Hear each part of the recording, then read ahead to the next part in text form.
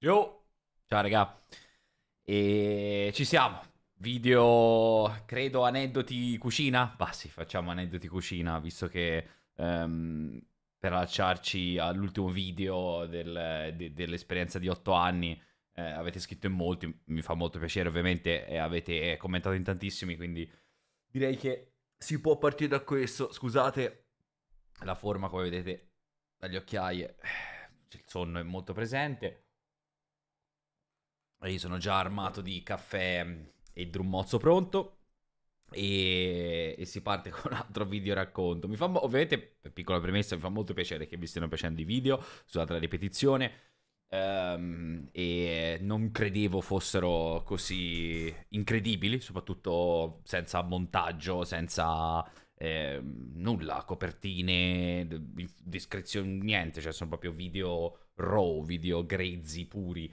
E mh, c'è un senso, non, non è che è una scelta artistica, stilistica, contenutistica, è semplicemente che ehm, non so editare i video e giustamente eh, se, ti affa- se ti affidi a un editor deve e vuole essere pagato ehm, e, e YouTube non genera abbastanza soldi perché io possa eh, permettermi di, di- di, diciamo, video editati, carini, con eh, magari anche dei momenti comici, con i uh, tagliati, quindi capisco benissimo che possono essere magari un po' fastidiosi, però vi chiedo perdono. L'ho fatto, l'ho fatto per tre anni, quattro anni di YouTube, eh, non con questo tipo di video, con altri che vedete sul canale, che sia che fosse stato eh, l'intervista o il gameplay o la settimana su Rust, il best of, eccetera, però fondamentalmente il canale YouTube è sempre rimasto... boh, Ho fatto tipo 10.000 iscritti in 4 anni, che per amor del cielo sono tantissimi, eh, soprattutto per uno che non fa video specifici su YouTube. Però, eh, insomma, comunque 3, 4, 5 video al mese sono so sordi, eh, come diceva il buon Macio. E, e quindi ho scelto qualche tempo fa con, con Rings of Powers e poi dopo di provare questa, questa nuova versione che alla fine secondo me è carina, è comunque un contenuto esclusivo per YouTube, eh, si distacca dal just chatting, può essere comunque ascoltato eh, nel chill la sera, in giro, eh, insomma un po' come vale... è uno podcast, eh, non, non è tra l'altro proprio un podcast, però eh, lo chiameremo uno podcast. Buonanima, uno due podcast. E comunque, eh, scusate, la premessa, grazie ovviamente, il, il- sunto è grazie, mi fa molto piacere che vi piacciono i video e continuerò a farli, anzi eh, ho già annunciato in live che ehm, prenderò un giorno libero a settimana proprio per fare i video, che in questo caso è oggi, giovedì, ehm, togliendo un giorno alle live, eh, perché altrimenti non riesco a fare tutto e finisce come quando ho iniziato con Rings of Power e gli altri due, quello sul conflitto di interessi e su Wukong, perché eh, poi alla fine fai 7, 8, 10 ore di live al giorno, ma anche se sono 6 o 5 e, e finisci, io personalmente non ho mai le energie proprio, eh, non è neanche tanto questione di voglia, è proprio delle energie per mettermi a, a riparlare altre due ore dopo averne parlate 5, 6 di fila, di cui tra l'altro 3 o 4 di just chatting di solito su Twitch. E non ce la faccio, cioè proprio arrivo, arrivo la sera che sono distrutto, anzi eh, spesso e volentieri quando esco la sera ehm, tipo per eh, insomma, una cena co- con amici e via dicendo, eh, non, non trovo neanche le parole, cioè non, non mi, non mi- proprio non mi vengono fuori le parole perché ne ho buttate talmente tanto durante la giornata che la sera eh, preferisco ascoltare. Sono un buon ascoltatore. Vabbè, comunque, grazie, grazie mille. E, e basta. Allora, video aneddoti di cucina. In realtà io non mi sono preparato un cazzo, come sempre. Nel senso che andrò a braccio, a memoria in questo caso, visto che si parla appunto di ricordi. E, e saranno episodi che boh, io reputo strani, divertenti, simpatici, particolari in qualche modo, ehm, ma che magari per qualcuno di voi potrebbero non esserlo, potrebbero risultare o- boh, cringe, offensivi in qualche modo, però io ve li racconto così come, come li ho vissuti e come li ricordo. E mm, direi, secondo me, pensandoci adesso, co- conviene fare una sorta di tipo di timeline, nel senso di partire dal- dall'inizio per poi arrivare alla conclusione e i vari step eh, nei vari luoghi, ristoranti, di provare a ricordarsi qualcosa. Secondo me, secondo me la, la cosa più carina è quella, cioè la cosa più facile in realtà. E se non l'avete visto, il video scorso è de- riguardante appunto l'esperienza in cucina, quindi comunque vi citerò, magari o vi eh, ripeterò velocemente qualcosa che vi ho già detto in qualche contesto. Comunque, fondamentalmente, eh, io ho fatto, ho lavorato in Italia, ehm, um, Austria e in Australia, ok? E un po', insomma, ecco, in maniera un po' alternata, a parte l'Australia, che sono gli ultimi anni.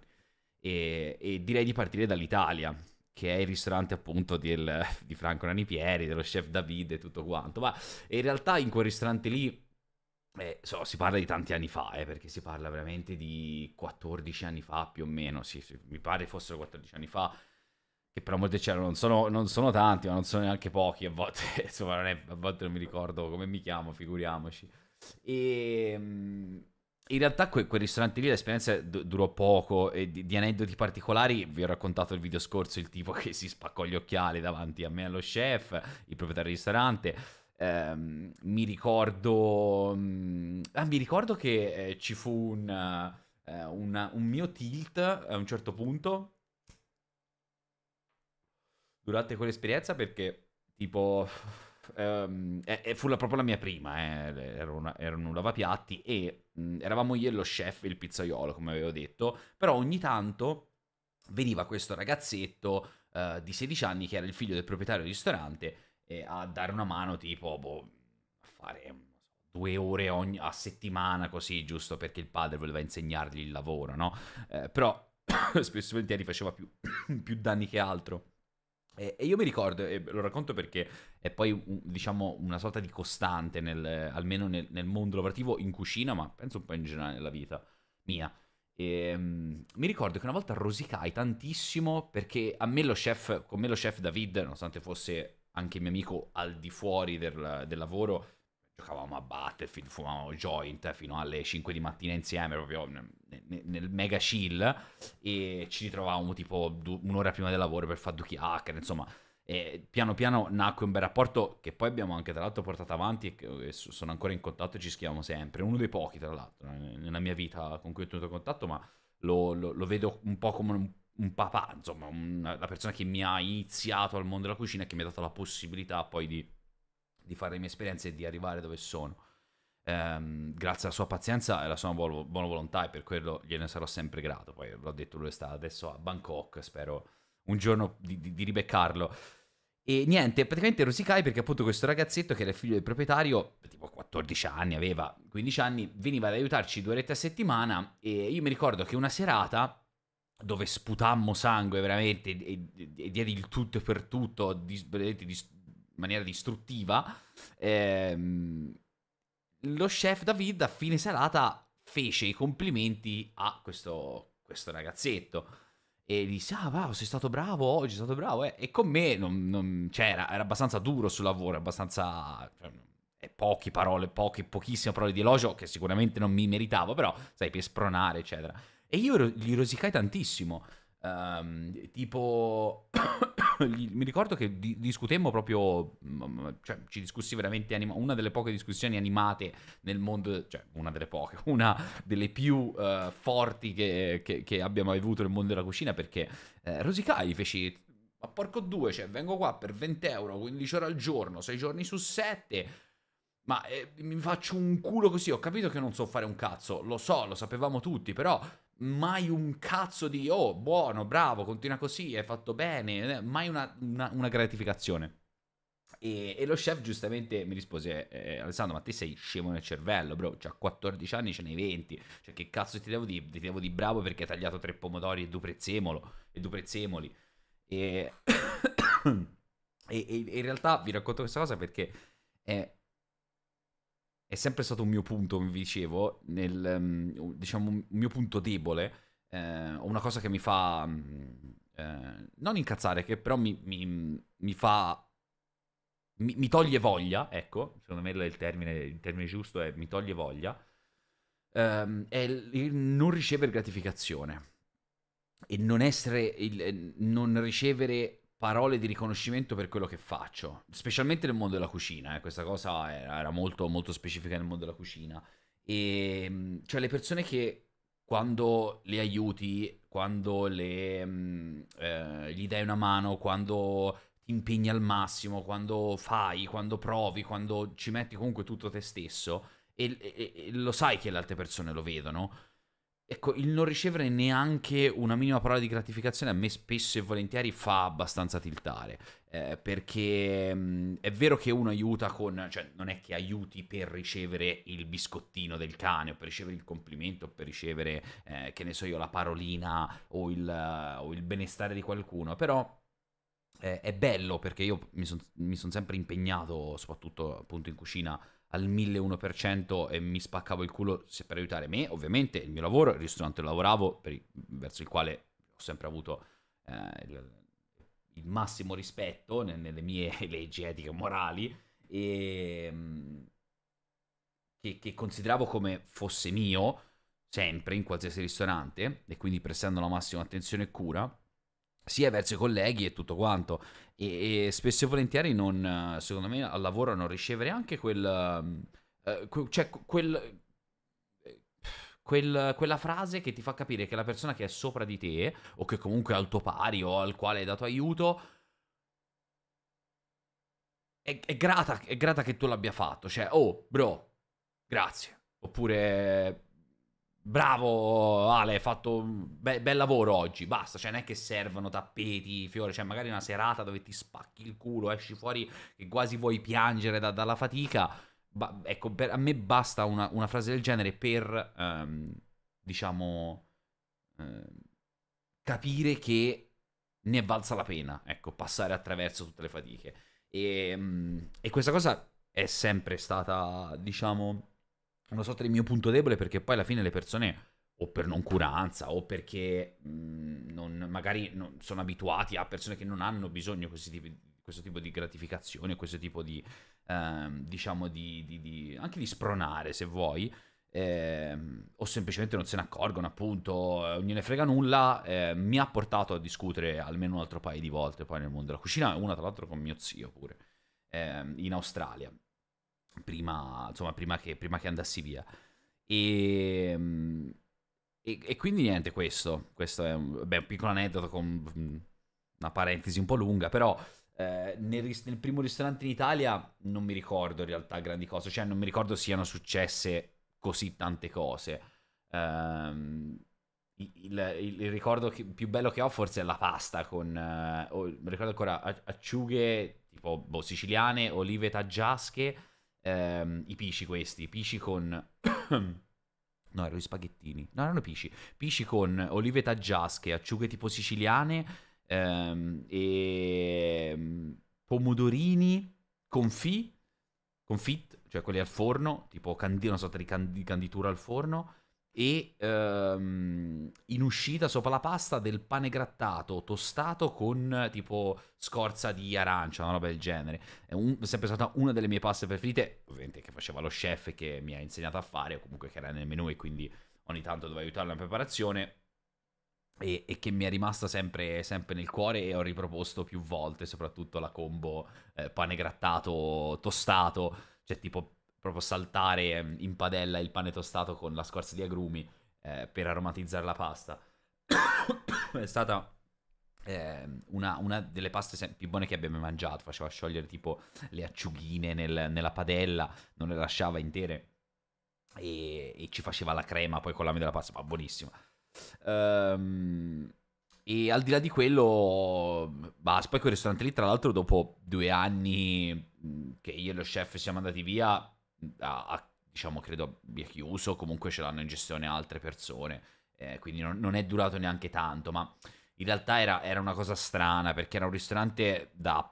doveva essere secondo me un ristorante che doveva stare aperto solo a pranzo.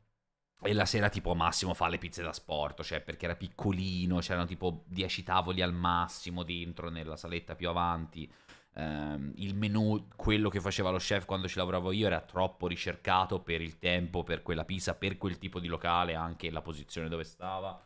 Ehm, e, e, quando provano a fare lo switch, a farlo diventare hamburgeria, anche se in realtà era il periodo degli hamburger, cioè ci videro lungo su questa cosa, ma troppo poco tempo, troppo caos in generale per, eh, per fare cose. Poi era un ristorante eh, che era eh, gestito uh, dai soci della palestra che era davanti, ok? E quindi praticamente um, c'erano, mi ricordo così, eh, a, a, a, memoria, tipo 4 o 5 soci.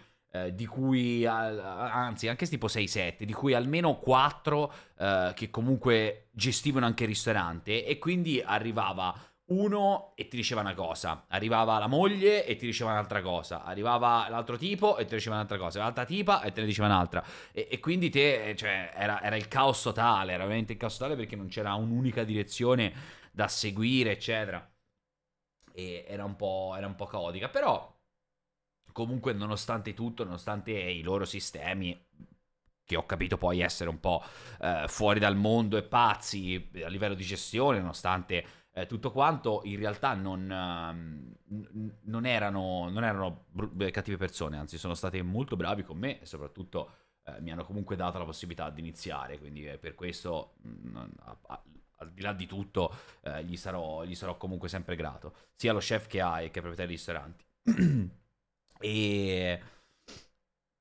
Poi che altro? Beh, Ita- per, per, per, chiudere Cerchio d'Italia, vabbè, il ristorante del, sul mare che, a cui mi licenziai chiamando fascista il tipo.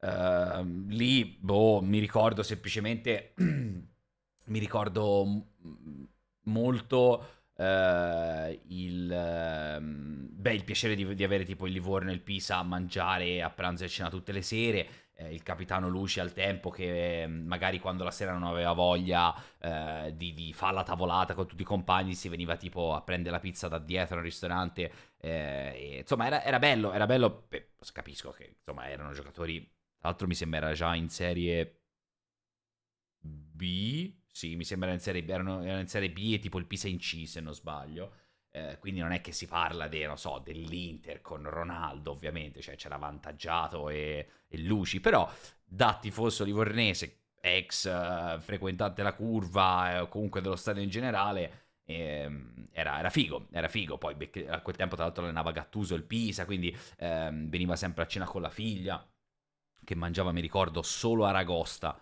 Pranzo, cena, eh, solo aragosta la figlia mangiava. Solo aragosta. E, e, quindi ogni tanto magari scappava l'aneddotino un pochino più privato piuttosto che un po', magari era l'aneddoto riportato, modificato, eccetera, però era, era simpatico, era simpatico. Era molto bello.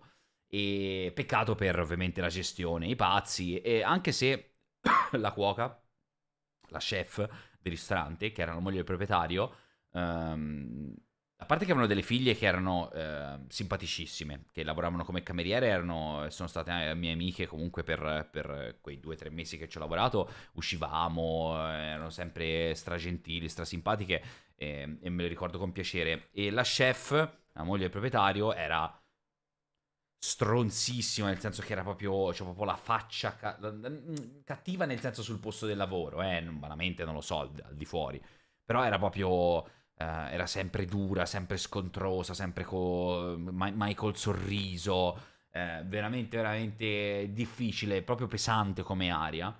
E... Però anche lei mi ha insegnato tanto, mi ha insegnato tanto soprattutto a livello di pasta, di gestione della pasta, di, uh, di, di, di mare, di antipasti di mare, di um, lavorazione sui prodotti di mare. E mi ricordo che una cosa che odiavo terribilmente era quando faceva praticamente il sugo di mare tipo la pasta allo scoglio, ok? Eh, però eh, invece di in quel ristorante non era in bianco la pasta allo scoglio, ma era a sugo. E siccome era un ristorante dove c'era tanta, tanta gente e il personale, come penso a tutte le parti d'Italia o nella stragrande maggioranza, maggioranza dei posti, eh, sei um, eh, sotto, dipendente, nel senso che ti manca sempre qualcuno, eh, perché se assumi paghi troppo, bla bla bla bla, e quindi fai fare, paghi un po' di più quelli che hai, gli fai fare un buco di culo enorme, almeno così funzionava un tempo.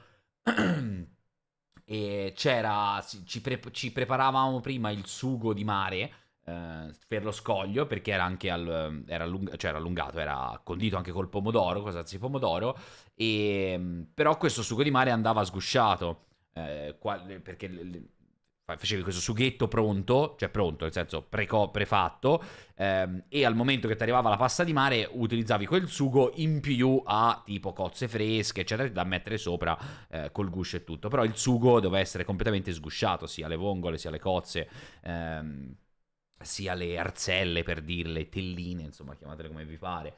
E, e mi ricordo che mh, la chef, senza senza alcun, alcun ragione, motivo, me lo faceva sgusciare quando era caldo. Um, io quindi con tre paia tipo di guanti di, di, di, di lattice da cucina, eh, con il sugo bollente, con la salsa di pomodoro bollente, a sgusciare queste cazzo di cozze e vongole in maniera proprio insensata, perché il sugo sarebbe bastato lasciarlo tipo... Uh, mezz'ora in più a raffreddare e, al, fuori dal frigorifero sul bancone e poi uno lo fa quando è tiepido e lo fa 10 volte più veloce. Invece no lì ah ah ah ah ah ah boh non so magari sarà stato uno dei classici um, eh, motivational act degli chef in giro per il mondo che ognuno, ognuno bene o male è i propri cioè quel, quella cosa che ogni chef ha i suoi in realtà. Ogni, quella cosa che secondo loro fa quell'azione che secondo loro farla, tipo in, que- in quel caso sgusciare eh, il sugo di mare quando era ancora lava bollente vesuviana, oppure come vi dicevo l'altro video, il, lo chef che eh, ti obbligava a tenere il, um, il cucchiaio eh, dal, praticamente dal, non dal manico ma dal fondo dove c'è proprio lo, lo, il cucchiaio per, per girare risotto, per eh, farti capire che la cucina è sacrificio. Mm, so, so, ogni, ogni, chef ha il proprio, la, la, propria azione simbolo, ecco, si vede che per quella chef lì era appunto, era appunto sgusciare, eh, sgusciare la pasta. Eh, il sugo, sgusciare le, le, mm, le cozze le vongole quando, era, quando il sugo è ancora caldo. E completamente inutile, non ti insegna nulla se non a bestemmiare dietro e a odiare la persona sempre di più. Uh, anche perché il sacrificio in cucina non credo che tu lo impari con qualche forma di dolore fisico durante, durante il tuo lavoro di, di, di, qualche tipo, lo impari semplicemente con organizzazione mentale, metodo, uh, esperienza e abilità. Serve eh, per, per, farsi darsi fuoco vivi, per, per, imparare che il fuoco brucia. Cioè, vabbè, ehm, io non, non, non ne ho mai avuti di, eh, di, metodi quando ho fatto l'head chef, di, chef di metodi per uh, temprare qualcuno, qualche apprendista o qualche eh, dipendente, non mai, mai fatto niente del genere. Eh, quello che facevo è gli davo da fare i compiti più merdosi, tipo fare 6.000 kg di arancini, quello sì, chiaramente. ecco, quello secondo me è un buon sistema per fare imparare qualcuno ovvero fargli fare un compito uh, che concettualmente è semplice, tipo pelare le patate o sbucciare le cipolle o rollare gli arancini, li chiamo arancini, non mi rompete i coglioni, uh, quando il riso è pronto. Perché? Perché secondo me, anche se molti lo sottovalutano quando, si, quando iniziano a lavorare in cucina, compreso me al tempo, in Austria quando invece no, pelare le patate, eh, perché dici, ah, lui non ha voglia di farlo, e lo fa fare a me che sono lo stronzo. Ni, nel senso sì, perché è un compito di merda. Um, però perché succedono queste cose? Perché innanzitutto pelare le patate, rollare arancini, questi tipi di lavori qua, eh, sono lavori che ti bloccano nella postazione. Cioè se, se io devo ehm, eh, appunto fare tipo 150 arancini, è che posso fare altro nel frattempo perché ho le maniche sempre sporche, uguale le patate, non è che posso, eh, posso fare tanto altro, cioè devo stare lì e pelare, ho tutte e due le mani occupate. Um, e quindi questo, se, se, c'è uno chef e un aiuto cuoco, blocca lo chef a pelare le patate quando magari deve fare altre mille altre cose, no? Che però al, al, lì, lì, per lì quando inizi non ci pensi che quello c'ha da fare mille altre cose. Um, e poi perché questi lavori di massa in realtà ti insegnano la velocità, l'ottimizzazione, l'organizzazione e il sistema. Perché magari ti parti con una patata, la prendi, la cosi.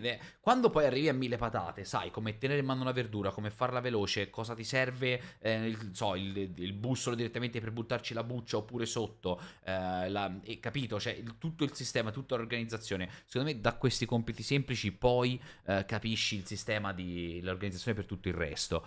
Eh, che alla fine è, è, è, tutto uguale, cioè, ripeto, organizzazione, ehm, fare meno cose nel, nel, più tempo possibile con la stessa precisione eh, e, e, cercare di, di, di, di, raggruppare i compiti. Eh, cioè, se, se sto, io sono uno chef e sto pelando le patate perché sono solo in cucina, non è che posso solo pelare le patate e dopo magari eh, metto a, a fare il riso per gli arancini metto a fare il riso per gli arancini e poi mentre cuoce faccio le patate ogni tanto mi giro a girarlo cioè ecco quando arrivi a pensare a una struttura del genere a capire cosa accorpare per poi arri- appunto arrivare pronto eh, al, al, servizio è, è diciamo il punto, il punto, perfetto. E secondo me questi lavori di, di, di massa aiutano anche il metodo in generale. Eh, comunque ehm, al di là appunto delle cozze mi ricordo eh, del ristorante, quello del, del Pista di Livorno, dove venne Pista di Livorno. Mi ricordo, Vanta- mi ricordo Pinzoglio che fu picchiato proprio fuori dal mio ristorante, preso a schiaffi dai tifosi della curva nord di Livorno, perché si apparentemente buttò, si, insomma, si capisce se l'ha fatta apposta o meno, presumibilmente no, ma eh, non si sa, eh, il pallone in porta facendo retrocedere Livorno. E ehm, in un calcio d'angolo, proprio l'idea di tipo uno schiaffo buttandosi in porta, no, veramente terrificante, mai vista, cioè nel caso in cui non avesse fatto apposta, cioè, penso da radiare proprio da, da, dall'albo dei calciatori, invece andò alla Juve, tra l'altro, vabbè. E mh, mm, mi ricordo che a quel tempo cercavo, perché io al tempo abitavo, avevo già fatto qualche esperienza all'estero, eh, come babysitter, come ragazza alla pari, eh, ma... Mh, mm, Tornato in Italia, eh, la situazione familiare di mio babbo e di mia mamma, che sono separati da quando io ho tre anni, eh, di mamma Valeria e babbo Giovanni, eh, era diciamo un po' mh, mm, caotica, nel senso che c'era un posto letto, poi non c'era da, da entrambe le parti, poi sì, poi no, eh. Io dissi, vabbè, sai cosa? C'è eh, la mia vecchia camerina dai miei nonni a Livorno, vado da loro. Eh, però era lontano Livorno il ristorante, quindi mi ricordo che iniziai a cercare i, i, primi affitti in zona Tirrenia d'estate, cioè Tirrenia sul mare d'estate, quindi impossibile trovarli. E fortunatamente mi licenziai tipo, ehm, penso, o meglio, la sera che mi portò a farmi licenziare arrivò proprio tipo due giorni prima che dovevamo firmare questo contratto d'affitto. Meno male che non lo feci, eh, dovevamo andare a vivere con. Ehm, un'altra cameriera e la figlia del proprietario, ehm, da, insomma, come coinquiline. Eh, uscivamo sempre insieme, era un, si era formato un bel gruppetto di, di, di amicizia e, e, fortunatamente mi licenziai prima di firmare il suo contratto d'affitto, se no era la disperazione totale. E E questo è quello in Italia. La seconda esperienza in questo ristorante, io sto provando a pensare, eh, qualche, qualche aneddoto lì, però sono veramente ricordi lontani e soprattutto, cioè, di, di, proprio di scene divertenti ce ne sono state veramente, veramente poche, perché era un ambiente talmente pesante che era impossibile ridere e divertirsi. E, ehm, quindi poco. E questo è quello, è quello in Italia tra, tra, i primi ristoranti in Italia e questo che vi ho raccontato c'è la prima esperienza in Austria. Lì, vabbè, in Austria gli aneddoti si sprecano sia dentro e fuori la cucina. È stato il periodo più pazzo veramente della mia vita, sia lavorativa che, che fuori dal lavoro. Eh, per insomma, due video fa sapete bene cosa, droghe e via dicendo. Ehm, e... e è stato però veramente tanto divertente veramente, veramente tanto divertente. L'Austria è stata, è stata qualcosa di incredibile che mi porterò sempre dentro al cuore, proprio al massimo, all'estremo ogni singola volta. Non c'è, non c'è, mai, non c'è mai stato un giorno di, eh, diciamo, di down, di bassa marea. C'erano, ogni giorno erano tsunami dovunque. E, ehm, era bello il sistema in Austria perché io lavoravo in questo hotel a 4 stelle eh, sotto una delle montagne appunto più alte d'Europa, o meglio una delle mm, montagne che ospitano una pista sciistica più alta e più famosa d'Europa, Monte Planai, a Schladming. E mm, d'inverno c'era turismo del nord Europa di giovani che venivano a bere, a sciare, a divertirsi. Eh, ed estate invece c'erano i vecchi tedeschi che venivano a fare i trekking, le passeggiate Il posto è bellissimo, se cercate Schladming, eh, S-C-H-A-L-Dming, eh, L-Dming, in Austria, eh, lo vedete, cioè circondato da montagne, questo paesino, eh, con laghi, cose, beh, veramente l'Austria è una delle cose, penso, uno dei luoghi più belli che abbia mai visto in vita mia. Cioè, dovunque vai, se devi andare a, e ti fai tipo 10 km in macchina, rimani a bocca aperta ehm, ogni singola curva. E sia d'estate che d'inverno. Ehm, e, e, e appunto io vivevo e lavoravo nello stesso hotel, cioè mh, al piano terra c'era la hall e il ristorante e al, piano, al, al, primo piano, oltre a qualche camera di qualche insomma, cliente che veniva ovviamente ospite, ehm, c'erano anche le stanze del personale, cioè persone da tutta Europa che dormivano nell'hotel, stanze da tre, ma stanze ragazzi vi, vi, vi dico... Ehm, guarda, farò, farò, una cosa che di solito faccio in live. Eh, vi dico, cioè, fate conto che la stanza era questa. Entravi da qua, qua c'era la porta, ok? Questo era il bagno. Con la doccia tipo così, il bagno qua, il cesso, senza il bidet ovviamente. Qui c'erano dei mobiletti divisi in tre, perché era la camera da tre. Eh, poi porta terrazzo, ok? Che ti portava fuori a... non era un terrazzo, ma ora vi spiego. E poi qua c'era un letto, qua c'era tipo una scrivania, qua c'era un altro letto e qua c'era un altro letto. Questa è la stanza. Um, ma si parla veramente di questo è il bagnetto, ma si parla veramente di, di, di poco, cioè di, di, cinque passi sei arrivato in fondo alla stanza. Eh, boh, non so quanti metri quadri fosse, ma cioè letti poi singoli, piccoletti, armadi piccoletti, cioè capito? Non era una stanza spaziosa, era un micro corridoio con un bagnetto. Ehm, e fuori praticamente davi sul, perché l'hotel era diviso in tre blocchi, eh, non giganteschi, eh, però insomma le, le, comunque ospitava fino a 380 persone in totale. Eh, in tre blocchi, blocco 1, blocco 2, blocco 3, ehm, e dove sotto c'era la hall, poi appena appunto, appunto, salivi c'era questa terrazza tipo con sassi, con i giochini per i bambini, con una piscina per l'estate, per dire eh, una, c'era la spa su una di questi tre in cima a uno di questi blocchi, insomma comunque un, be- un bello hotel. E ehm, e fuori appunto c'era questo terrazzino con questi. con, con, con le stanze confinanti dove uno. le sedie, c'era tavolini. E. Uh, e quindi noi dormivamo a gruppi di tre uh, in queste stanze per il personale e in più, oltre a quello, c'erano vabbè, gli armadietti dove ti facevano trovare sempre il camice pulito. Eh, trovavano loro la, la divisa, le pantaloni no, il camice sì. Uh, e poi c'era un'altra stanzina in mezzo a queste camere, ovviamente cioè con, con, ingresso indipendente, dove c'era una micro doccia e una lavatrice per 30 persone che lavoravano lì e che dormivano lì del personale. 30 no, ma una ventina sì. Quindi avevamo una lavatrice in 20. Eh, e poi questo micro, proprio questa microscopica cucina che era più piccola di questa stanza, per farvi capire, ora non vedete ma è piccola sta stanza anche di qua, Ehm, dove c'era un tavolino, appunto questo cucinotto, un frigorifero che era la stanza del personale, c'era la cucina del personale, dove la mattina ti ritrovavi a prendere il caffè, dove la sera ti facevi un drink, dove insomma stavi la sera insieme, anche perché poi in Austria d'inverno c'è meno 11 gradi.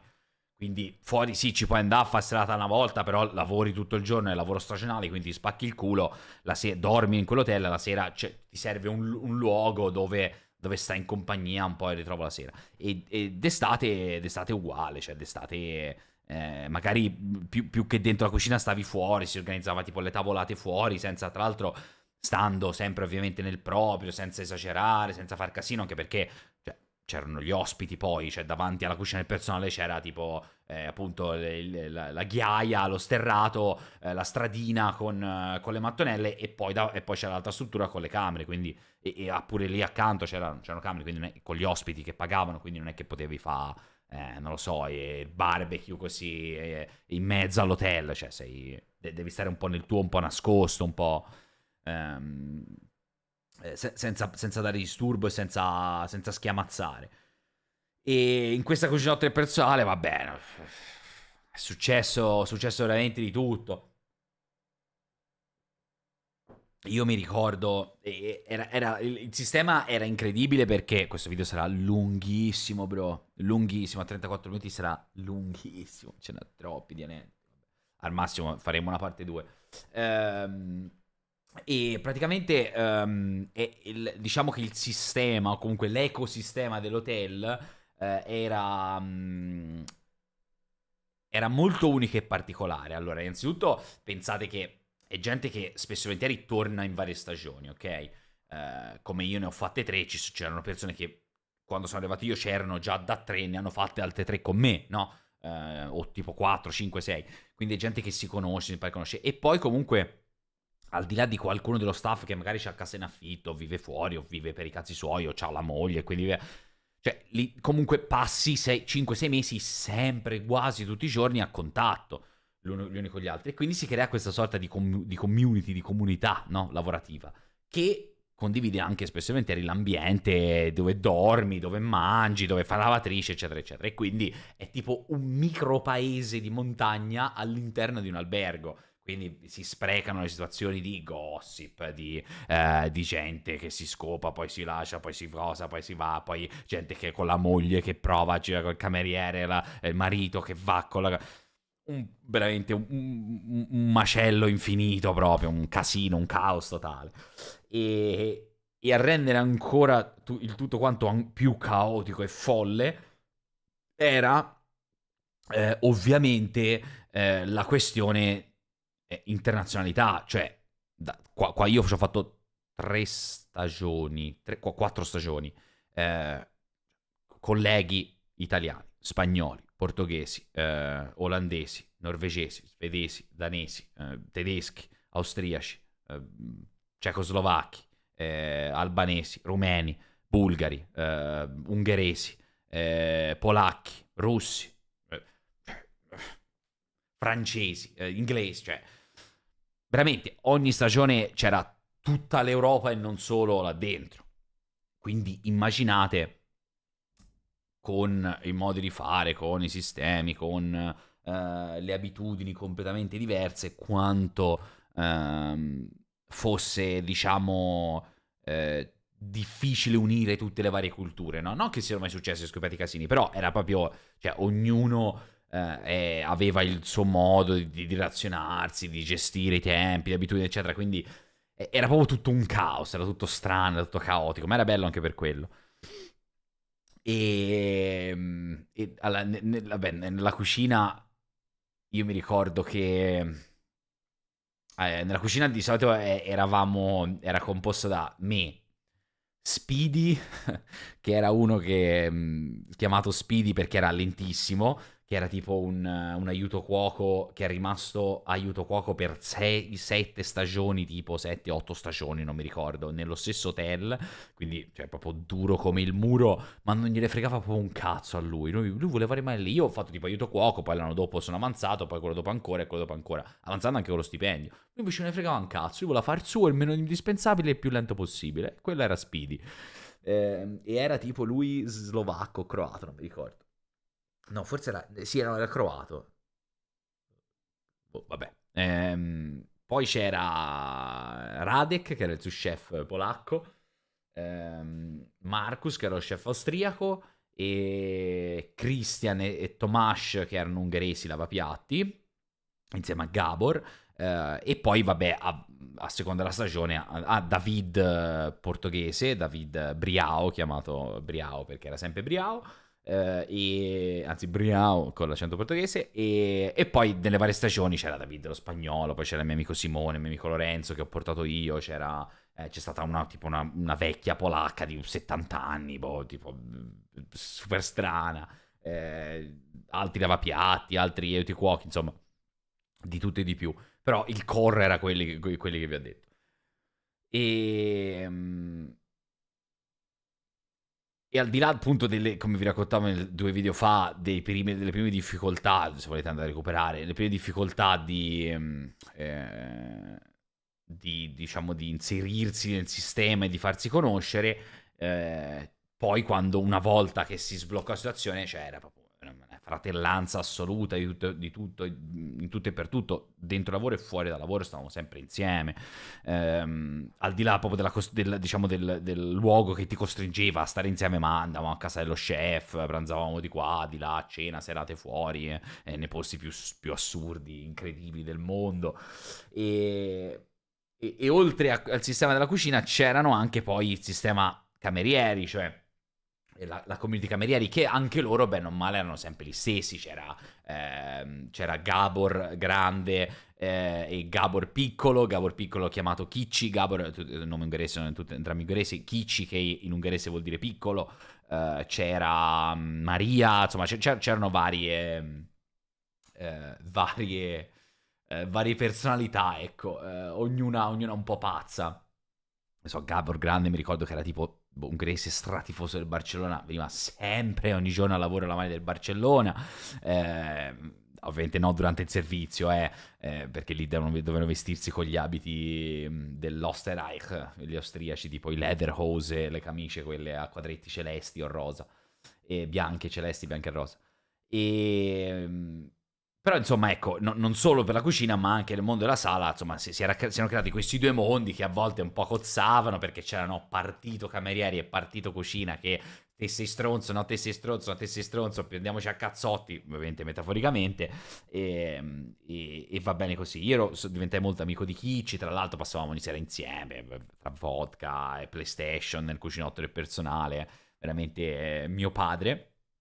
E e de, de, arrivando agli aneddoti, dopo tutta questa, questa, grande premessa, arrivando agli aneddoti, boh, ve ne sparo qualcuno random. Mi ricordo che eh, c'era questo grandissimo e divertentissimo scherzo in cucina dove ehm, noi durante il servizio, se volevamo fare i bravi, eh, ci bevevamo tipo una coca, una Coca-Cola, ovviamente, eh, in un bicchierone e la Coca-Cola ha, lo sapete che colore ha, no? Quel, quel nerastro ma- marrone scuro, non so eh, lo scherzo più gettonato, incredibilmente divertente di quella cucina è che eh, quando uno aveva, era troppo indaffarato e non notava che aveva il suo drink di Coca-Cola, passava un altro e ci buttava dentro il tabasco, eh, che è una sostanza molto piccante. Quindi te poi tipo lo so, magari non respiravi tipo da un'ora dal lavoro, tornavi alla, alla postazione dentro la cucina, vedevi il bicchiere di Coca-Cola e facevi, ah, buono, via, e, e morivi. E questo su, a tutti quanti, quindi, cioè, ogni volta che bevevi, tipo o lo finivi e non lasciavi lì, oppure lo dovevi controllare contro luce, davi un sorzino, insomma.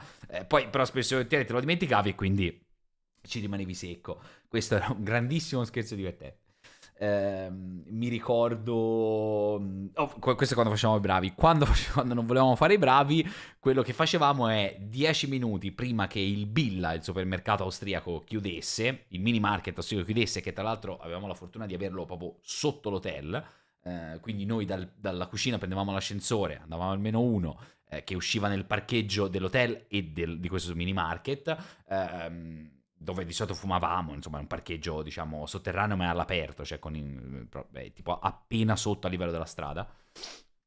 E entravamo nel bill, prendevamo tipo due bottiglie di vodka, eh, la, la, Red Bull Tarocca a 40 centesimi e invece di eh, bere acqua durante il servizio ci sparavamo questi bicchierazzi di vodka e Red Bull, tenendo ovviamente tutto nascosto perché non si poteva vedere, quindi mettevi il bicchiere di vodka dietro tipo il pacco di riso, queste furberie qua.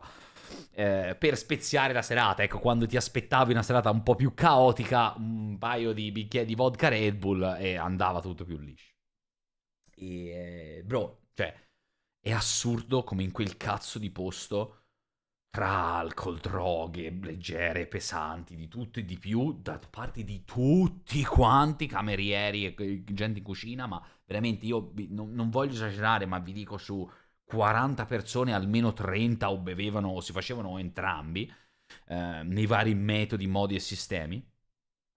Non c'è mai stata una cazzo di sera dove, dove, è entrata la proprietaria dell'albergo, la dirigenza in generale, i padri, padroni, a dire, fra, ma che cosa avete fatto? Un casino. Mai, è sempre andato tutto perfetto. Questo non vuol dire che drogarsi ovviamente bere ti fa lavorare bene, però è, è proprio per me inconcepibile che in un sistema così terrificante non sia mai successo del de- caos assoluto.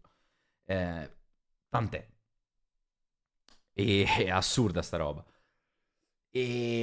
Ehm, mi ricordo...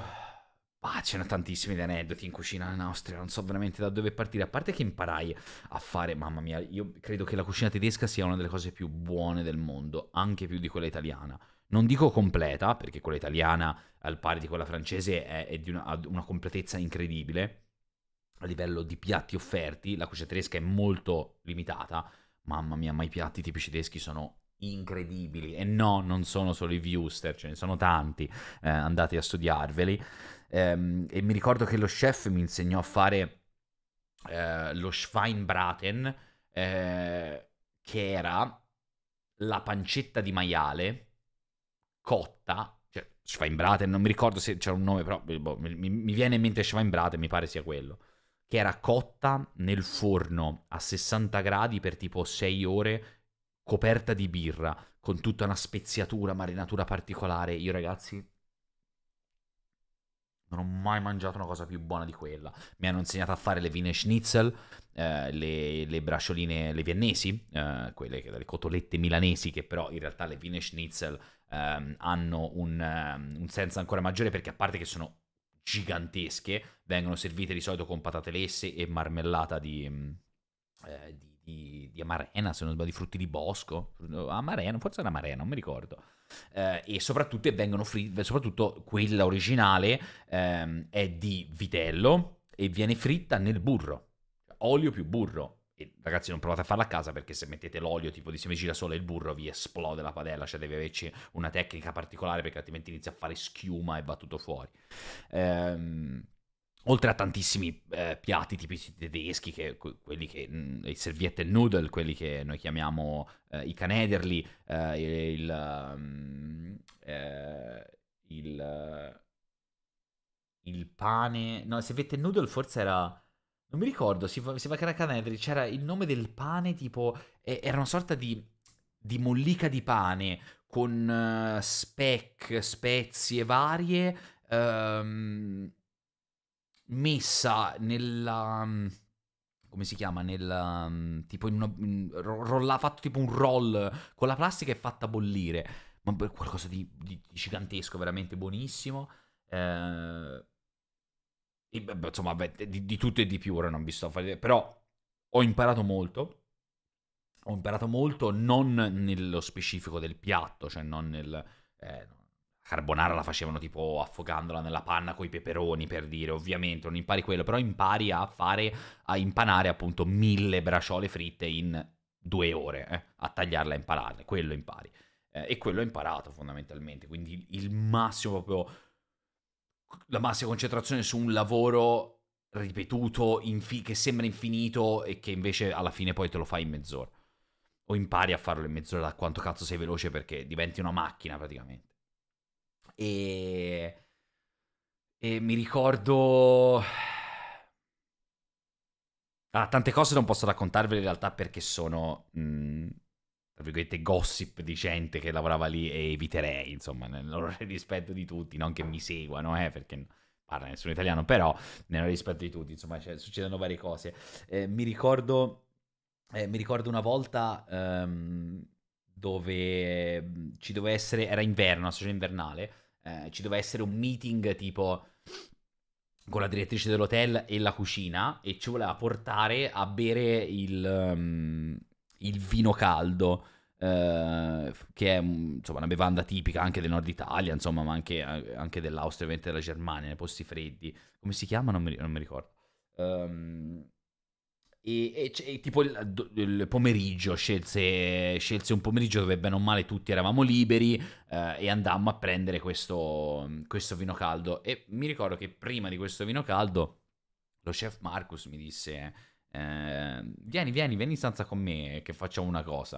Andai in stanza con lui eh, e si presentò con questo bong, bong gigantesco dove io mi ricordo non lo fate ragazzi, per amor del cielo, ve lo racconto perché mi, mi fa ridere, ehm, dove io feci una tirata e mi annihilì completamente la vita, non capivo più un cazzo, ehm, e c'era questo cazzo di meeting con, con appunto la direttrice e suo marito, tipo. E io mi ricordo che mentre camminavo in salita verso il centro di questo paese, dall'hotel verso il centro del paese, con tutti davanti, cioè mi sembrava poi di essere dissociato da me stesso, di camminare sulle nuvole, ero gonfio come un culo. Um, e arrivai, arrivai lì a... Um, eh, lì al tavolo dove eh, mi, mi, misi a sedere eh, completamente bianco cadaverico, non capivo un cazzo eh, e, e, e fissai per tipo 20 minuti così la direttrice, eh, tant'è che a un certo punto lei si mi fece Sandro, alles klar? Alles gut? Cioè, tutto bene? Tutto a posto? Mi stai, oh, mi stai fissando da 20 minuti? E io, impanicato to- totalmente, feci tipo no, no, mi sento male, sto per vomitare e me ne andai tipo il giorno dopo, no, perché sai la febbre, innottata, eh veramente mh, mm, cioè, il momento più sbagliato per fare quelle cose. E quella tipo, no, sì, non ti preoccupare, capisco, succede, è successo anche a me una volta, mi ridacchiava nel frattempo, cioè, sgamato eh, come, come un coglione, eh, con lo chef che mi prendeva per il culo, ovviamente. E um, mi ricordo che invece Lorenzo, un mio amico di Pistoia che porta io a lavorare lì una stagione uh, tipo l'ultimo dell'anno, se non sbaglio, lui dormiva in camera con Radek, il sous chef polacco, quello con cui all'inizio scozzai che poi divenne un caro amico e si ubriacò. si ubriacò completamente il mio amico Lorenzo e si addormentò. si addormentò sotto la doccia la notte con la doccia aperta e Radek arrivò tipo un'ora dopo in stanza e trovò la stanza che ha la moquette completamente allagata e, e io stavo piangendo da ridere nel... perché eh, mi, mi, venne a chiamare, tipo mi fece Ah, il tuo amico di merda ha fatto un casino! E io mi misi a ridergli in faccia, porco due, con quello che era tutto rosso come un peperone. Ah, ah scheisse, scheisse, scheisse, scheisse. E con l'acqua che non sapevo che era tutto allagato, mamma mia, che disastro. Mi ricordo che ci facevamo gli scherzi, tipo Um, c'era il collega spagnolo David, ma eh, questo Radek aveva tipo 38 anni, questo collega spagnolo aveva 42 e passa, eh, che una sera andò a farsi una scappatella con una cameriera, che tra l'altro era sposata, vabbè lui pure era sposato in Spagna, un macello come vi ho detto, e, e praticamente quando uno eh, di, della stanza, che erano da tre, però diciamo che erano vicine tre e tre delle persone della cucina, quindi erano tipo una stanzetta e una stanzetta attaccate e, e dove usci, uscivi dalla porta terrazzo, eh, insomma, cioè era, era, tutto, eri lì accanto, quindi potevi bussare da fuori, da dentro, dal cazzo ti pareva. E quando uno dei componenti di queste due stanze, quindi uno dei sei, se ne andava per i cazzi suoi da solo a fare qualcosa, eh, era la fine. Cioè, ti rientravi in camera e lo scherzo più scherzo del mondo, questo è tipo il tabasco in cucina, eh, che era sempre uguale, non cambiava mai, eh? Non cambiava, te, cioè te lo sapevi che succedeva, lo dai per scontato, perché te, te tornavi e trovavi tutte le tue cose sul letto, tutte. Tutte, cioè da sedie, eh, materasso, eh, una, la scrivania sul letto, la sedia sopra la scrivania, sopra la scrivania, le scarpe, sopra le scarpe, eh, l'accendi... Cioè, cioè, venivano fuori queste torri gigantesche di robe, ehm, di... Mh, mm, eh, di, di, appunto di, di, di, oggetti che venivano messi nel letto. E io mi ricordo che una sera questo David uscì con questa tipa, tornò tipo la notte ubriaco marcio, che non capivo un cazzo. Eh, e non capendo un cazzo, e non credo o accettando semplicemente o non capendo nulla, eh, si mise a dormire.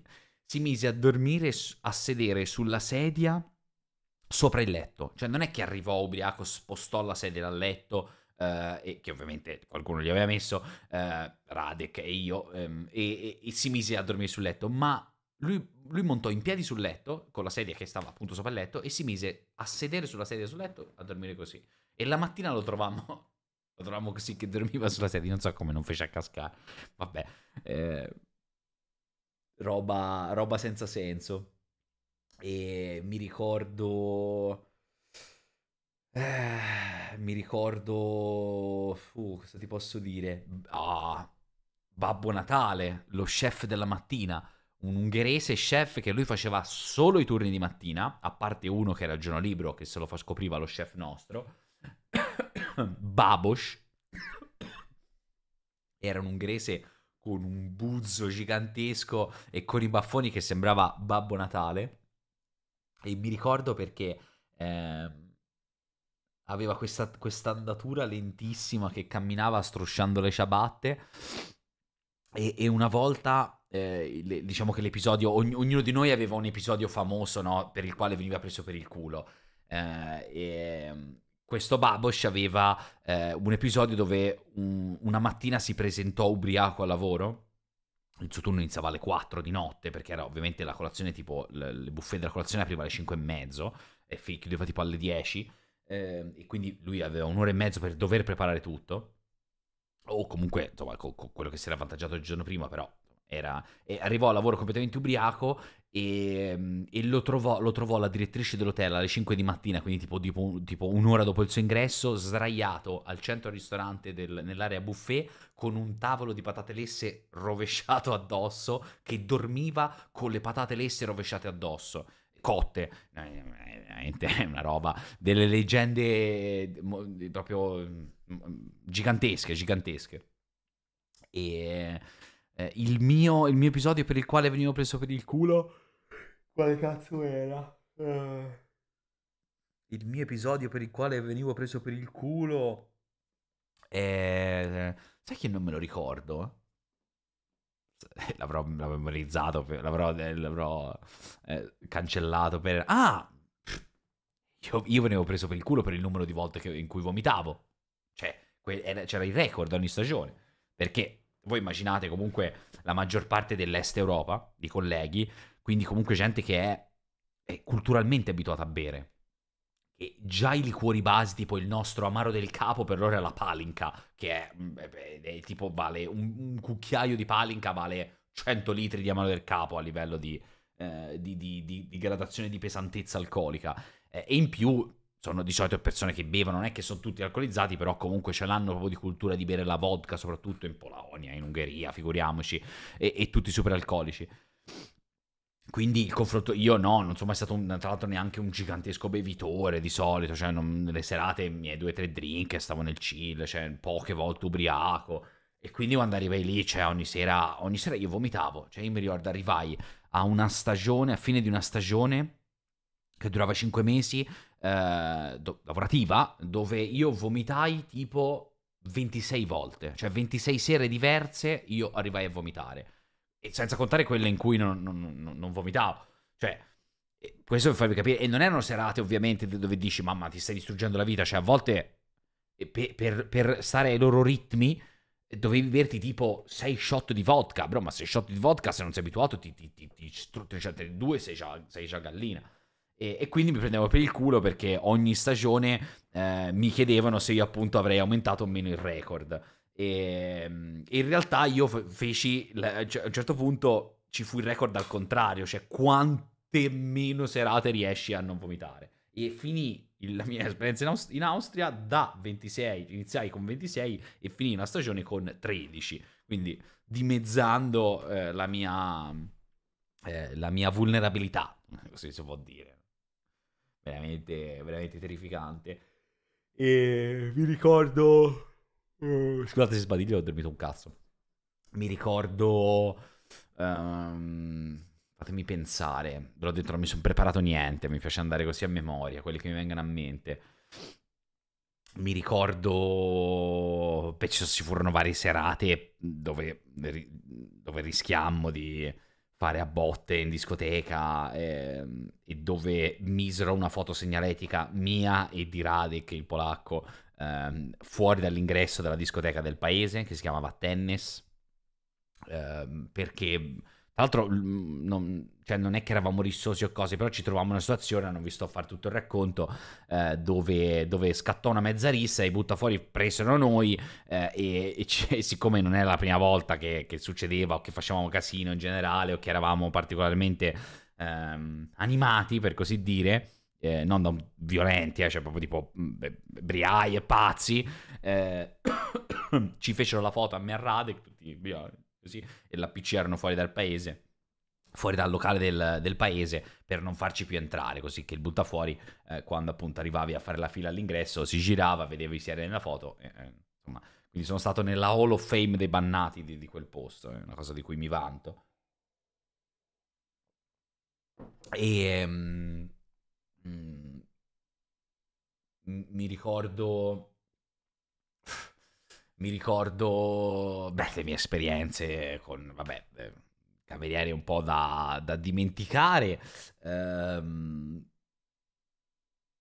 queste magari ve le lascio per un altro video, ecco, non, secondo me non siete ancora pronti, voi di YouTube, mm, chi, chi, segue su Twitch già le conosce, della cameriera ungherese sposata, eh, di quella volta che mi sborrai le mutande senza neanche tirare fuori il pisello, insomma, que- queste cose qua della tipa che è puzzato, insomma, tante tante tante esperienze divertenti e simpatiche, e...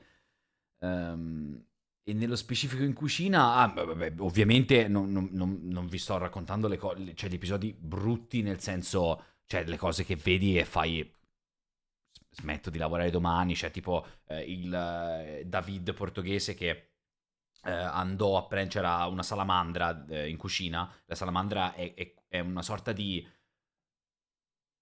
di, di, di, macchina da tosso super potente, eh, cioè è praticamente un, um, un, un, un, piano e sopra c'è una sorta di piastra ma che è, è, è fuoco, proprio lava, eh, per gratinare velocemente le cose, ok?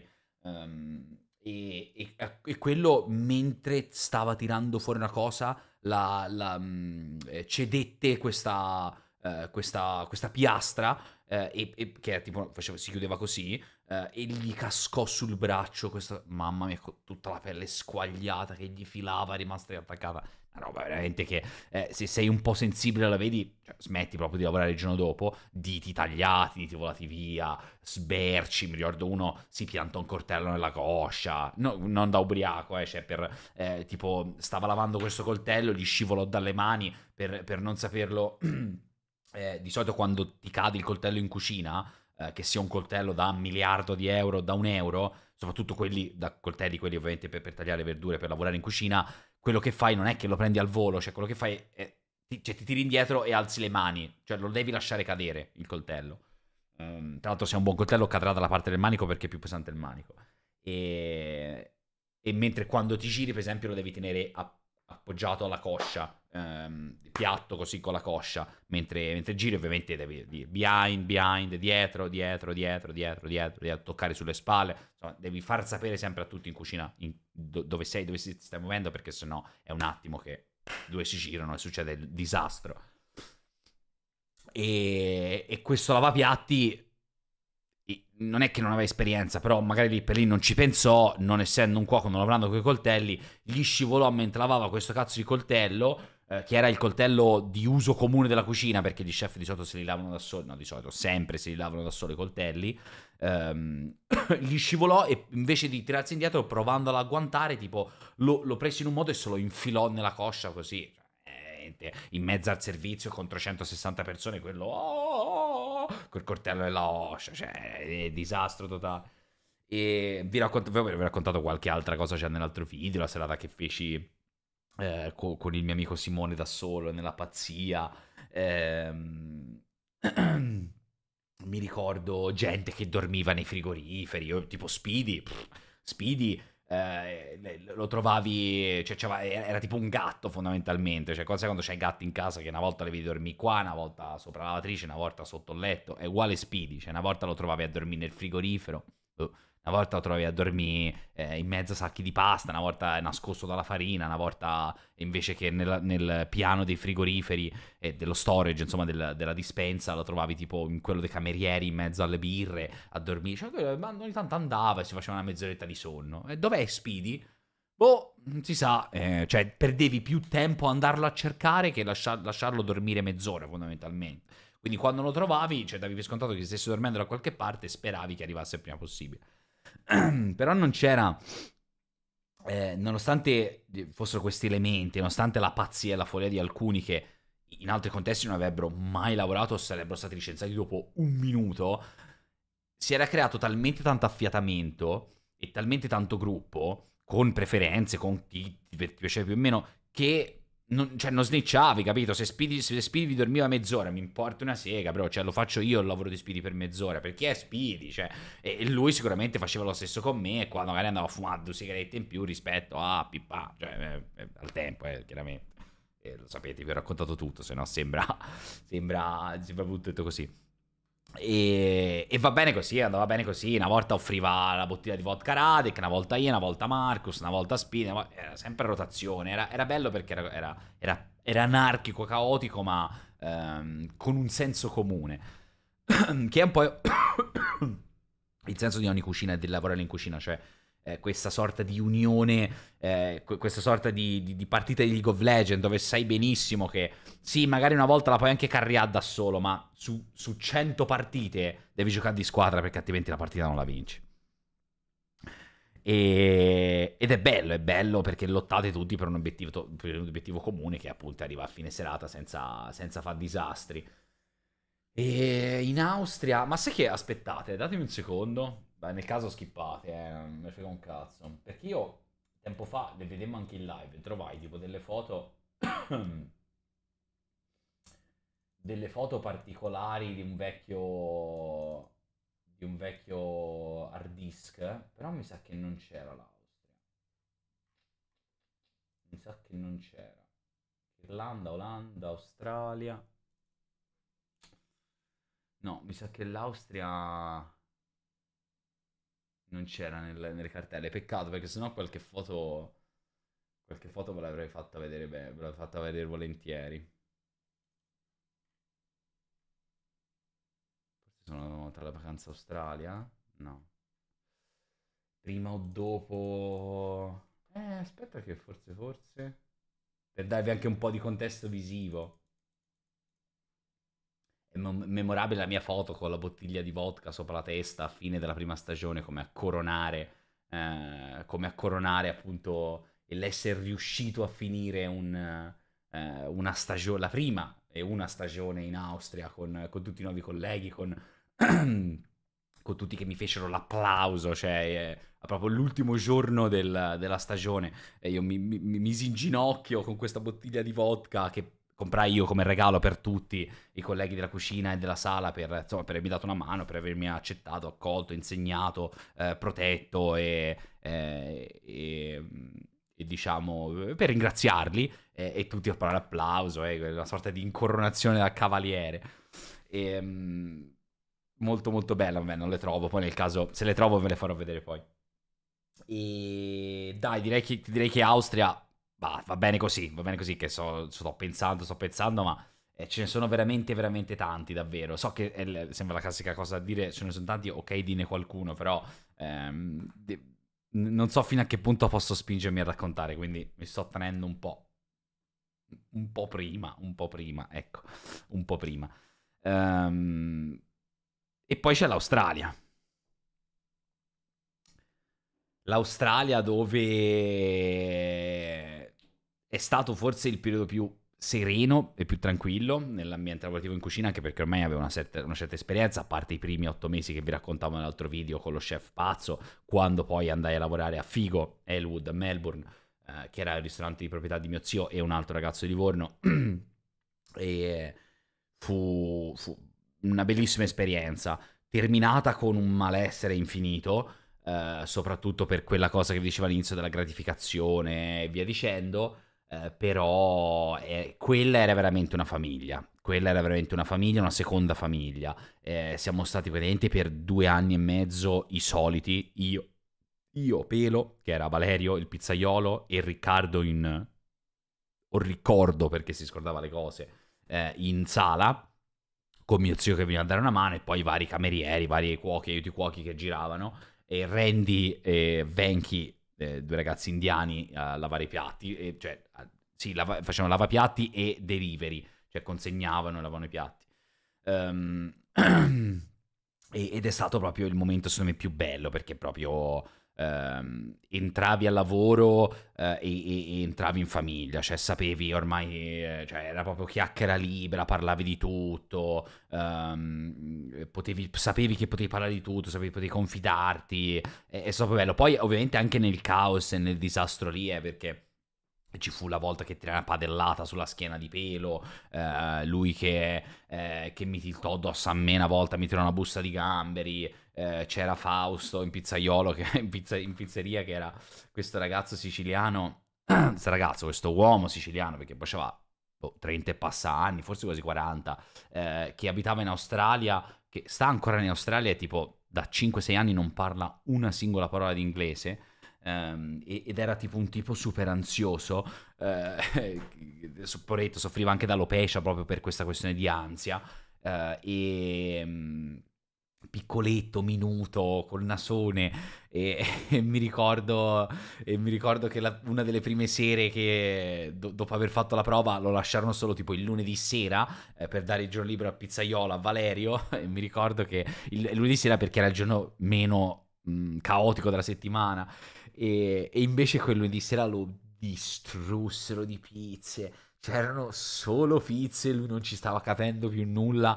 A un certo, pu- a un certo punto mi ricordo che mi girai eh, e, e, e, gli dissi Fausto, tutto bene? E lui tipo si girò con di, con, la, con una goccia, con un'unica goccia di sudore ma gigantesca che gli colava del viso qua.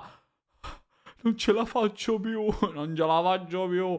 Beh, veramente gigantesco Fausto.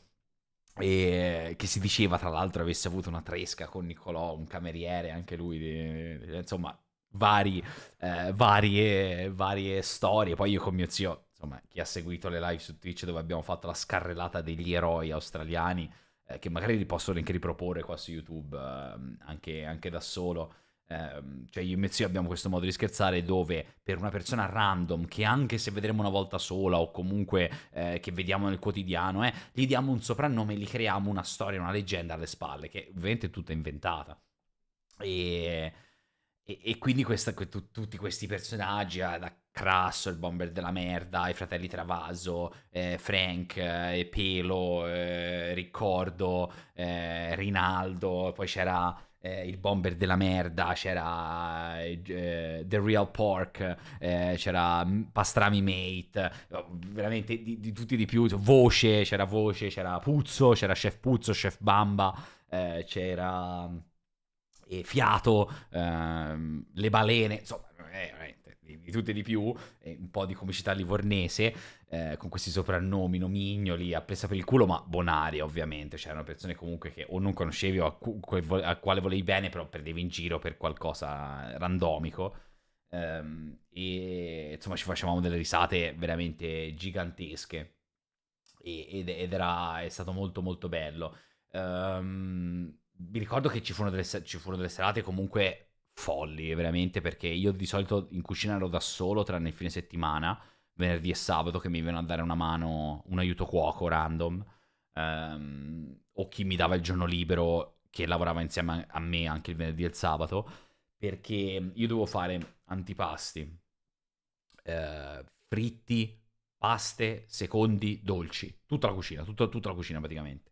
Um, roba abbastanza semplice e veloce, ci mancherebbe, però a volte, soprattutto il sabato sera, con gli ordini a sport e la gente in sala, non lo so, c'era tipo 50 persone al ristorante, che massimo tipo era 60, 70, non mi ricordo, 50 persone al ristorante a sedere, c'era anche la pizzeria per l'amor del cielo, e tipo uh, gli ordini a sport, magari mi ritrovavo con 30-40 paste in comanda, da, cioè in diverse comande da fare una dietro l'altra di fila così per due o tre ore.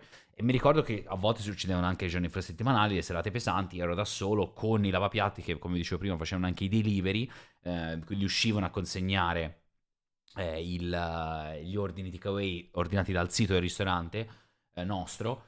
E, e, quindi a volte mi ritrovavo tipo con 60 paste in, uh, in ordine, quindi da fare. Eh, e, e, mi dovevo tipo, dovevo fare la pasta e dovevo andarmi anche a lavare la padella nel frattempo, quindi c'è... Cioè, scene di tilt, di, di, di perdite di pazienza, eh, di, di, follia assoluta.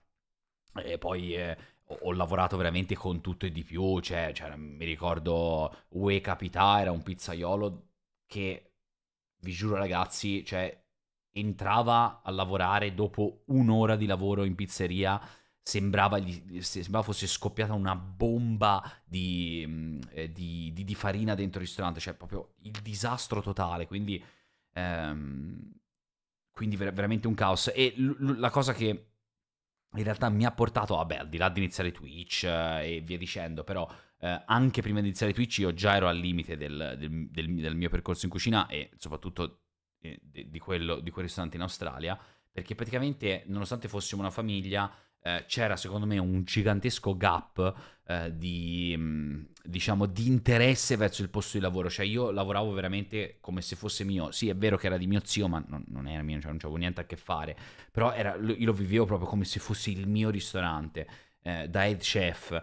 E, e, quindi davo il 1001% ogni singola volta, cioè ore in più, cose in più, eh, veramente di tutte, organizzazione, pazienza, eh, lavoro, aiutare gli altri, eccetera. Mentre gli altri, spesso e volentieri, nonostante fossero delle bravissime bellissime persone, nonostante fossero anche dei bravissimi lavoratori e staccano, eh, cioè gente che lavorava duro, gli mancava proprio quella quell'interesse, quella precisione in più eh, che, che, avrebbe aiutato tutti quanti. E quindi cioè tipo a volte tiravano la roba messa lì, a volte facevano uscire la roba un po' più, un po più sti cazzi, eh, la pizza è venuta male ci importa una sega, e il frigorifero non lo mette a posto perché tanto boh, magari c'è lo stronzo che lo fa, che ero io, e, e quindi questi, questi, scompensi diciamo organizzativi e di eh, cura del proprio lavoro eh, nella perfezione del proprio lavoro creavano spesso e volentieri dei litigi e, e soprattutto il sistema, in, in, almeno quel sistema lì in Australia, quel ristorante lì funzionava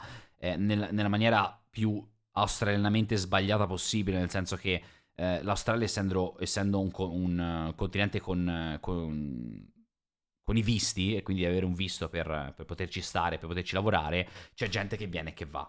Cioè ragazzi giovani che vengono, vanno, vengono, vanno. E quindi ogni settimana tipo eh, nuovo cameriere, nuova cameriera, eh, magari facevo, insegnavo io tutto il lavoro in aiuto cuoco, due settimane dopo se ne andava tipo a Sydney eh, per fare le farm, eh, oppure se, se andava in Italia, eh, e quindi c'è ogni mese dovevi imparare, dovevi iniziare a insegnare tutto, a preparare tutto, e quindi poi c'era il primo turno da soli eh, di chi mi dava il giorno libero che era un disastro, e quindi il giorno dopo tornavo che era tutto disastroso, e poi c'è la gente che mente sulla propria esperienza, tutti quelli che sono venuti in prova, bro. E c'era uno, mi ricordo, eh, c'era uno che arrivò in prova, un signore di 42 anni siciliano che arrivò in prova, eh, aiuto cuoco, ehm, e tipo nessuno lo conosceva, lui si andò a cambiare. Ehm, Ah no, prima entrò in cucina vestito tipo normale, fece ok, sono pronto per la prova. No, no, non lo so che non era gay, però parlava così. Eh, ho un figlio tipo divorziato con un figlio in Italia, beh no, quello che ci ha detto lui, e, e gli feci, sì bro, vatti a cambiare, cioè, non, poi lavorare con co la, non so, con i jeans e la miscia in cucina, cioè, eh, c'era in camice, ah sì sì, vado, vado, e tipo rientrò e, fa, e, e rientrò a, dal, dal, dal stanzino dove ci si cambia alla cucina saltellando e facendo tipo, uh, che bot che sono molto felice, sono in prova, sono in prova. Noi non ho mai visto e conosciuto, cioè io e Vale, il pizzaiolo che ci guardammo cioè, per non scoppiare a ride, e questo ci disse, cioè, tipo nei primi 5 minuti di prova, um, si fermò e ci, e, e ci, disse: No, perché sapete, io sono separato, ho un figlio eh, a carico in, in Italia, ma non, tra- non sapendo eh, lavorare, non avendo trovato lavoro in Italia. E sono dovuto venire in Australia per, eh, per mantenerlo e poi eh, uso gli psicofarmaci. Questi sono stati i primi 5 minuti di, di, di, che ha fatto tutto da solo. Cioè, uno che non ho mai tagliato. Quindi c'è veramente di tutti di più quello che arriva che puzza come un animale, quello arriva che, che, che, si vede che è strapippato, pippa la bamba nello stanzino e si fa beccare, quello che si fa consegnare l'aiuto cuoco, la bamba nel ristorante davanti a tutti i clienti, ehm, quello che sbaglia a fare l'impasto. E, e, butta via una serata intera di pizzeria perché ha sbagliato a mettere l'acqua nell'impasto. Cioè, veramente la follia assoluta. Però l'esperienza in Australia mi ha insegnato tanto la cucina, nel senso proprio a livello pratico, a livello italiano, di cibo italiano, di cultura italiana, aggiustata ovviamente a gusti un po' australiani e ho sempre testato l'idea di, ehm, di voler modificare il gusto a proprio a mio, a mio personale piacimento. Um, a meno che non si tratti ovviamente di ricette classiche che, va, che sono vendute come ricette classiche e vanno fatte classiche, Però se io per esempio nel ragù bolognese ci metto, lascio le verdure grosse, metto, lo dicevo l'altro giorno in live, eh, mezzo spicchio di limone, eh, ci metto l'origano, me, la pasta al ragù in uscita mi ci piace il prezzemolo e l'olio all'aglio sopra. Io mi porto una sega se, se, il ragù non è così o non è italiano, se c'è l'anana sulla pizza, se è buono lo mangio. E, e infatti grazie a questo... Grazie, questa, questa apertura eh, verso, verso, il gusto e verso la non tradizionalità strettissima del, eh, del, del mangiare, soprattutto a casa. Eh, mangiai il, il, pizzaiolo Valerio mi fece una delle pizze più buone che abbiamo mangiato, ovvero base, base della pizza fatta al forno elettrico, eh, quindi tipo cromana, non napoletana, ehm, e con sopra un'insalata eh, mozzarella eh, cotta e poi in uscita sopra un'insalata di lattuga, maionese e gamberi saltati in, con succo d'arancia. Oppure col pollo, mamma mia, gigantesca, gigantesca. Una delle cose più buone che abbiamo mangiato.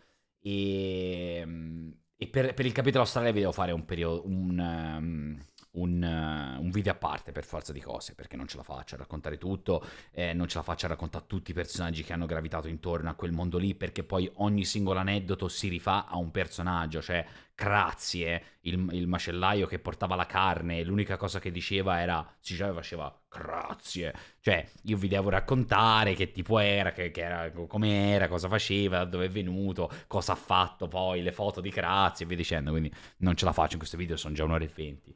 E... Ehm, sì, in realtà non è stato proprio un video di, di aneddoti, cioè di, di, della serie guardi e ti scoppi da ridere, però secondo me è, boh, è stato un purpurri di roba, un mix di, eh, di roba strana.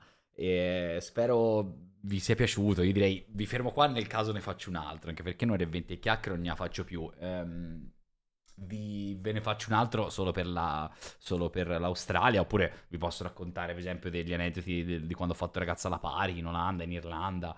Eh, anche lì ce ne sono di storie simpatiche. E chiaramente, eh, per quanto io, avete visto il video sulle droghe, il video della cucina, eccetera, sia aperto, sia sereno nel parlare di tutto, ci sono alcune cose ehm, che non, non, è che sono mie personali, però magari coinvolgono persone o, eh, e quindi non riesco ancora a esprimerle così liberamente come magari potrei fare su Twitch, eh, per assurdo, non eh, su internet, cioè senza invadere la privacy di nessuno, ovviamente. Al di là, vabbè, video che Radek pippava, nel senso è vai a sapere chi cazzo è un suo chef polacco, chissà dove, chissà come, chissà quando. Ehm, però ecco, non, non, senza, andare nello specifico, nel dettaglio di ognuno eh, e rimanendo comunque sempre simpaticamente scherzosi, eh, certe cose ancora no, no, diciamo che non sento di condividere su YouTube. Forse fra un po' di video, vediamo un po'. Eh, quindi sono venuti un po' più risicati effettivamente gli aneddoti. E, ehm, Ah, tra l'altro mi ricordo che in Austria stavo quasi per diventare uno youtuber al tempo, quindi quando avevo 20 anni, quindi 14 anni fa. Eh, volevo diventare uno youtuber dei ristoranti. Pensate te, pensate voi quanto c'è, ero avanti. E um, io avevo una GoPro. Al tempo venivo da, dal mio per- periodo come fotografo. Avevo una GoPro e praticamente durante filmati persi purtroppo. Eh, durante i miei servizi la sera io mi mettevo la GoPro tipo in testa sul cappello o davanti e mi filmavo mentre facevo tutto il lavoro in cucina. Eh, poi non ho, più, non, ho mai, non ho mai avuto un PC mh, mm, in Austria, quindi quando tornavo poi in Italia non avevo voglia di montare e sono andati persi, purtroppo, perché se ne erano dei video ganzissimi, ora penso che lo facciano in molti in realtà, eh, su YouTube ad oggi. Eh, que- queste cose qua, tipo con GoPro, Action Cam, eh, più o meno cheap. Però al tempo, 14 anni fa, sarebbe stato sicuramente qualcosa di unico. E... Mh, mm,